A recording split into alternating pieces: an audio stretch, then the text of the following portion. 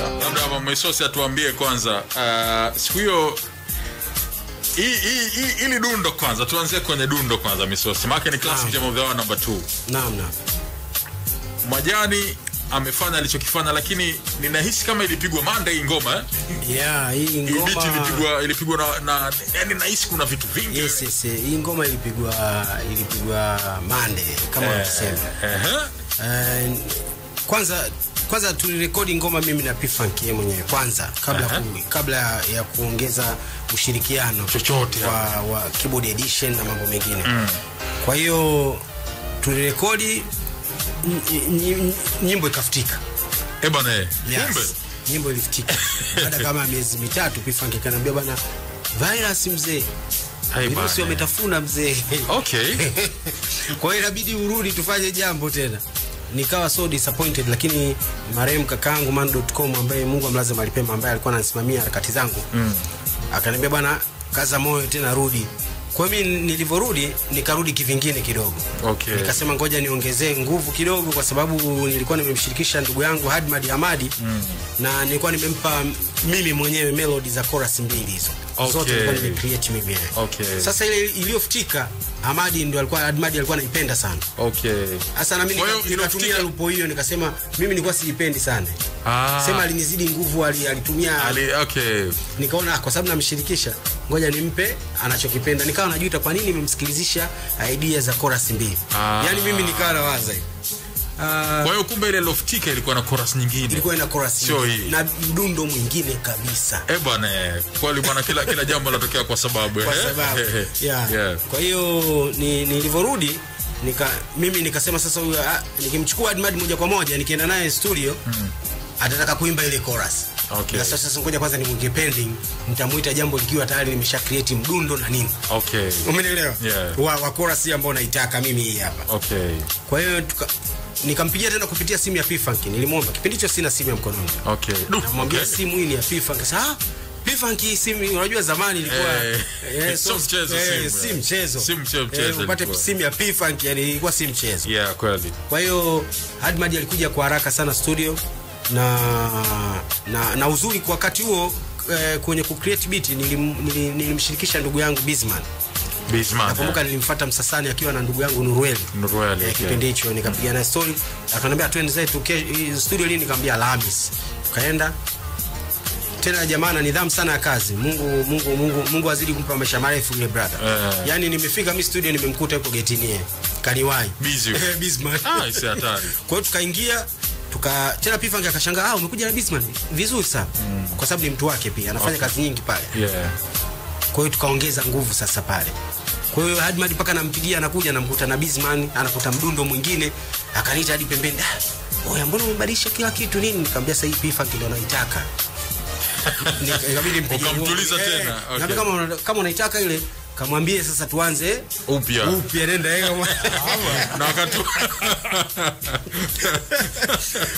akasema basi bwana Eh. ila nikamwambia acha unyonge. Kama kama kama unaleta unyonge mimi nitalianzisha. Kwa sababu kila kitu nilikuwa nacho feelings zote nazo. Ila wewe utakuja utai, uta, utai, utaipitia juu na toni yako. Eh. Akasema basi bwana kwa sababu zote alikuwa anazijua. Zote anazijua. Anazijua, Eh, okay. basi tukafika aka- aka- akaweka chorus vizuri nakumbuka marehemu Ngwea pia nilikuwa naye studio kwa kipindi kile. Atena nakumbuka Ngwea akawa anamwambia P-Funk da ili goma ili tenda namba moja. Eh, bana, linakuja eh, kutufunika eh, ujue.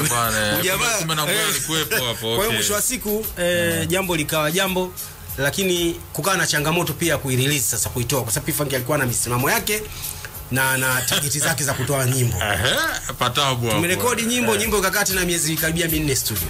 Du brother ndo anahangaika anampigia simu bana majani vipi nini? Siku moja nikasema da nikampigia simu pifa kinakumbuka nakumbuka kupitia simu ya brother. Nikamwambia bana kiongozi sikiza ndugu yangu. Mimi unajua nina target zangu nyingi. Unajua hapa nimerudi kutoka South Africa. Eh, ulikuwa- nikarekodi okay. kwa nilikuwa sauzi. Okay. eh, nilikimbia kidogo. Sioja Tanga? Eh. eh, nikakoswa koswa msala fulani nikarudi sasa nyumbani. Sasa ndio nikaja nikauliza nitoke vipi? Okay. si unanielewa? Yeah. nikaleta swali lakini likawa na majibu kwa mashabiki kwa hiyo P-Funk mimi nikampigia kiukweli kwa hasira sana. Nikamwambia nyimbo nimerekodi muda imefutika nimevumilia. Ina almost sasa ni miezi sita sasa nikianza kuangalia progress yake. Ah, basi P-Funk akaniambia mzee kwa hiyo unanitisha nitafuta.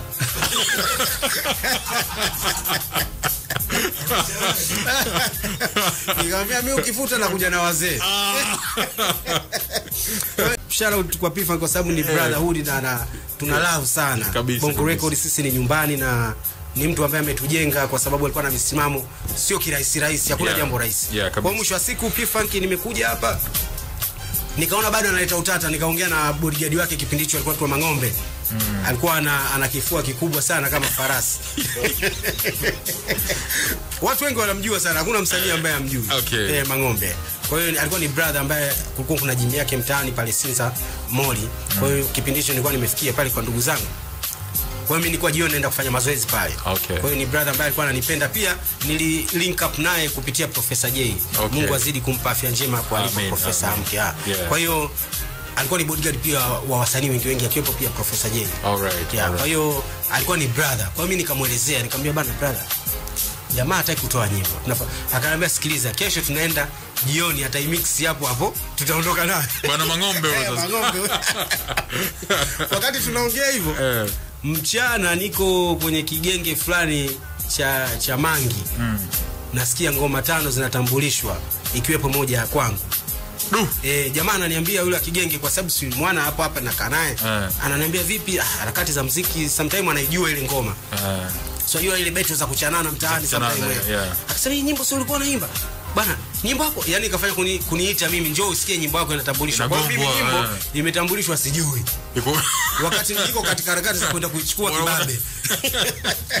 Yeah, na nasikia alikuwa na hizo surprises hizo kwa hiyo mimi pa faster nilivyosikiza nyimbo mpaka mwisho imetambulishwa nikaenda kwa mang'ombe kumtuliza. Oya baba mjomba kule kaenda kaachia ngoma kwa hiyo Okay. shout out kwa P-Funk kwa hiyo Alright. ni ngoma ambayo na, na historia nayo na imenitoa kiukweli kiukweli chimbo kwa sababu mm. eh, kuanzia hapo pia nilishagonga ngoma kadhaa nishapita kwa Mika Mwamba mm. nikarekodi ngoma inaitwa Bongo Tanzania nishapita kwa Soundcrafters kipindi hicho na wanangu Yeah. walinipeleka pale mm. Uh, wakina wakina Kiara nakumbuka mm. eh, nikarekodi nyimbo inaitwa Mama wa Kambo eh, nisha, nimepita ni studio tofauti tofauti katika harakati hizi. Kwa hiyo hapa kwa P-Funk ilikuwa ni katika harakati za kupiga mawe tu hustling za Mungu ana bless vipi? Yes, na Mungu yuko busy kwa kila anayemuomba au sio? Yeah. Yeah, man. So, so before before ya, ya nitoke vipi kumbe kulikuwa kuna madubwana kibao ushatengeneza Yes, yes, kabisa Yeah. kabisa kabisa. Alright.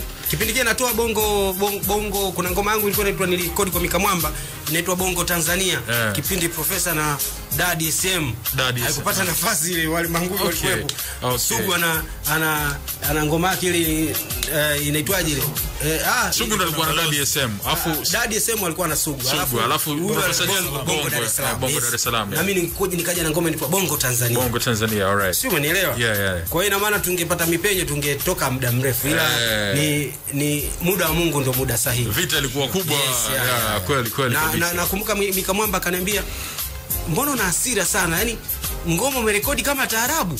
Mageni niligonga ngoma ina yani nilimba eh, ngoma yangu ile Bongo Tanzania ilikuwa ina dakika tisa. Sasa kila akiniambia tukate, naambia usikate shahidi hata moja. Akaambia simuona Dino mwenzako kaja Yeah. Ameiva verse moja. Verse moja. Hiyo ilikuwa ni ubunifu tu. Yeah. Eh, kwa hiyo naye fanya kama vipi hata wewe verse moja basi Yeah. ambao unaipenda. Nikamwambia iache. Akaambia mzee utasikiza ghetto. Kwa hiyo ni harakati tu wewe. Alright. Yeah. Sasa hapa hapa misosi sasa ndo umeanza kunifungua kwamba Naam. kumbe kulikuwa kuna some of the tracks. Unajua wengi tuliposikia tukajua misosi ndo ndo ametoka na kwa Ah, sababu yeah, wimbo wenyewe nitoke vipi, so kila mmoja sema bwana ah, ndo ametoka ngoma yake ya kwanza na nini. So so uh, when uli, ulianza muda gani hasa ulianza na ulianza na katika era ya kina nani? Unakumbuka Ah, mwaka? 98 hivi. 98. Yes, so sasa hivi misosi ana miaka 24 kwenye game. Yes, yes. 98 nakumbuka. Kwa, kwa katika era yako unakumbuka uliokuja nao. Ya nakumbuka kipindi hicho kwa nikianza kukumbuka mfano kwa sababu nikikwambia kama nilikuwa na role na watu kama GWM ni muda mrefu kidogo Yeah, GWM, na yeah, sure. kipindi ambacho nilikuwa nikija da hapa na role na watu kama kina Jiz Mabovu Jeez, yeah. eh, Russian in wakina. Fit Q tulikuwa tuna familia kubwa sana okay. nadhani nakumbuka MJ tulikuwa tunaenda sana kupambania kombe pale Yeah, yeah, MJ yeah, yes yes yeah. kwa hiyo ni muda mrefu kiukweli yeah. Alright. This uh, tukiachana na yote Naam. the beat was crazy kweli ni kweli kabisa lakini lyrics pia was crazy yani ni kweli, eh? ni kweli, ni kweli. jinsi ambavyo walivyokuwa wanazitengeneza hizi topic na nini Yes, yes. ugomvi ugomvi wa hapa na pale Yeah, yeah. Uka- ukamchokonoa mzee taita kidogo na alivyorudi aliniulizia kwa saigoni yeah. bwana yule bwana mdogo vipi sugu Eh, Ehe. na akaniita tukalabata vizuri tu Eh. Ah, kwa sababu nikasema ah, brother ananiita nataka nitie makofi saigoni akanambia amna kwa sababu tulikuwa tunakaa na Segoni Yeah. mtaa mmoja kwa hiyo Yeah. tukaenda sugu alielewa hii ni, ni, Alielewa. ni mziki na mziki una tungo tata fasi simulizi na fasi andishi iko kiupana mm. na mi siku it- was not a yani haikuwa this mm-hmm. ilikuwa ni nimeongelea kwamba sugu ni mkongwe kastafu tena kwa heshima Yeah. alisemaga mistafu wa kipindi fulani Yeah, yeah, nikasema wabongo wamemchoka kimtindo Yeah. yani nakutega wewe utanihukumu mimi lakini Yeah, wabongo kimtindo. But- but- but- but alivyorudi Yes, yes. comeback yake ikawa ni strong sana haswa haswa nakumbuka nakumbuka kwenye kitabu chake alielezea pia situation kwamba mm.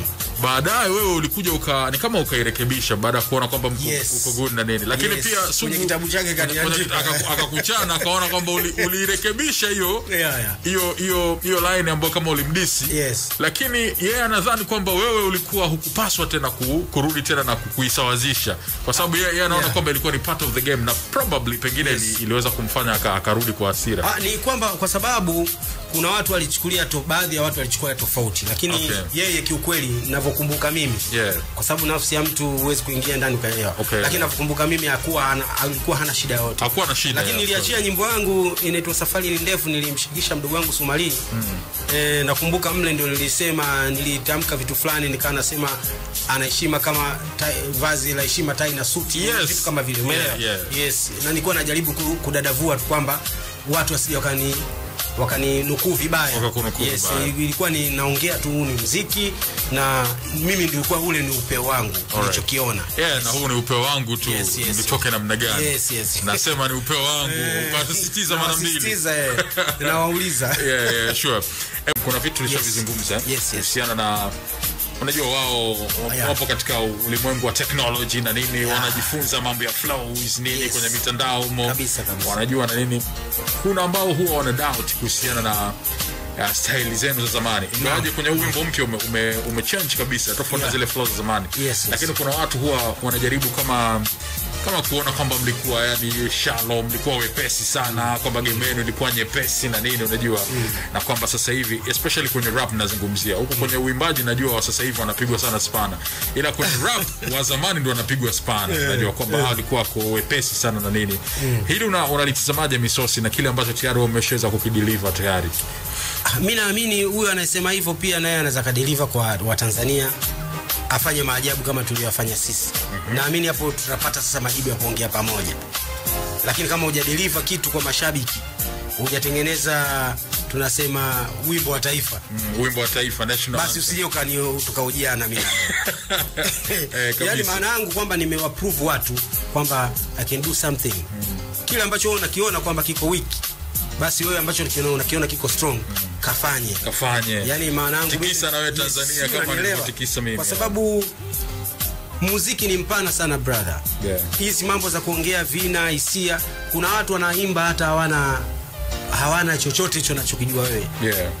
naamini hata uko duniani hata ukisikia tena wasiwasi kwa waimbaji hey, unakuta anavyo- anavyoimba au Drake mm-hmm. ni msanii mkali lakini pia mjanja mjanja Yeah, si umeelewa? yeah. lakini anafanya biashara si umeelewa? kwa hiyo mwisho wa siku ukitaka kusema kwamba kila kitu uende proper unavyotaka wewe hakuna sheria hiyo kwamba ni lazima ukifanya hivi usipofanya basi jabili afanye Yeah. apigi mi naamini ndio maana Dino alimba verse moja tu na ikawa hit ikawa hit yeah. si unaelewa mm-hmm. yeah, kwa hiyo huyo anasema hivyo na yeye awaprove watu wrong kwamba jamani hawa walikuwa wako weak sisi ndo tuko strong okay. hapo tunasema eh, kweli hapa inawezekana ikawa hivyo Alright. lakini haja prove anaongea anatafuta publicity na sio mbaya mumpe nafasi pia endelee kuwapa nafasi kwa sababu kuna watu wengine Eh. bila kusema hawapati riziki Yeah. yeah, lazima mtu aende amcrash msanii mwenzake. Na- na, na- na, na, miziki yetu sisi hatukuishi sana kwenye kiki. Ndio shida hiyo. Yeah kabisa. Yani hiyo ndio shida kubwa. Yeah. ndio maana hata old school yote unaweza new school akamcrash akashindwa kuja ukimoja akakataa hata kuongelea. Yeah. kwa sababu hatuku hamkutukuza hivyo jabini Yeah, unaelewa kwa sababu huko pia huko long time. Yeah, yeah, yeah, na na misingi tuliokulia sisi ni ya mziki, miziki mizuri. Oh, yeah. ndio maana naambia sasa hivi mziki wa sasa hivi kiki tembo mziki sungura. Uh,